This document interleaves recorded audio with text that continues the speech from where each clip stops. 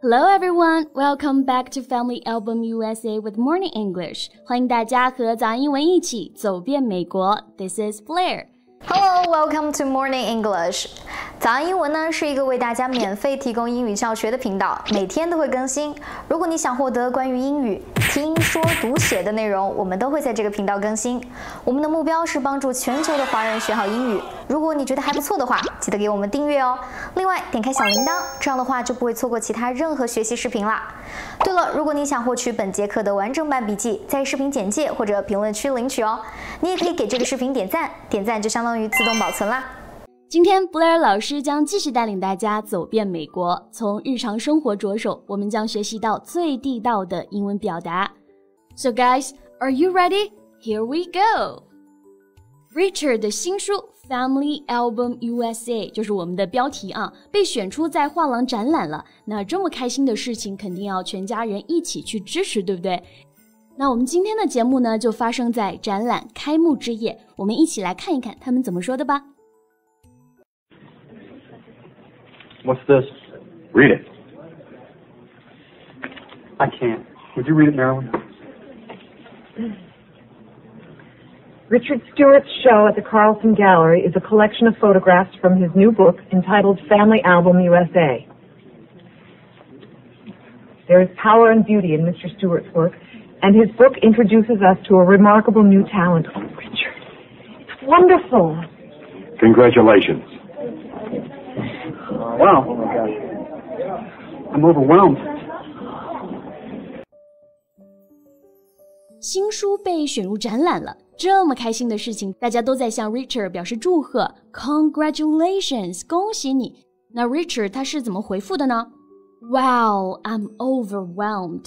I'm overwhelmed. 诶，那这个 overwhelmed 这个单词是什么意思呢？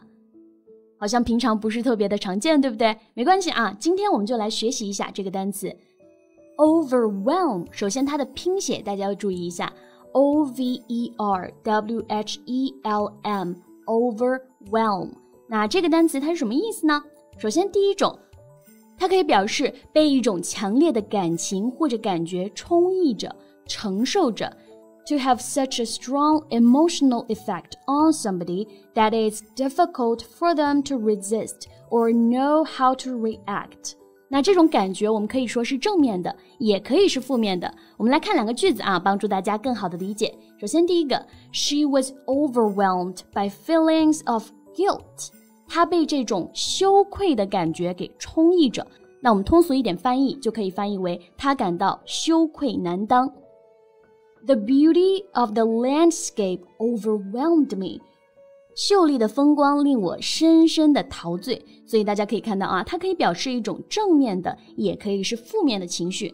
那原文当中的 I am overwhelmed 就是被这种惊喜的感觉充溢着，对不对？我们就可以翻译为我太感动了，我太惊喜了，我惊喜的有点不知所措了。I am overwhelmed。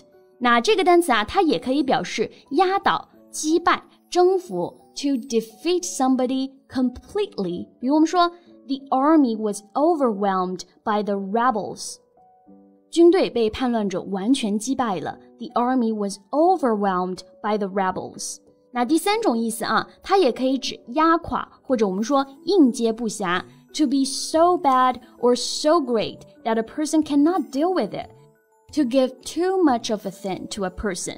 压垮 是应接不暇，太多了，一个人承受不了。比如说，We were overwhelmed by requests for information。这个问询使我们应接不暇，我们快要被这个问询给压垮了，就是这个意思啊，overwhelm。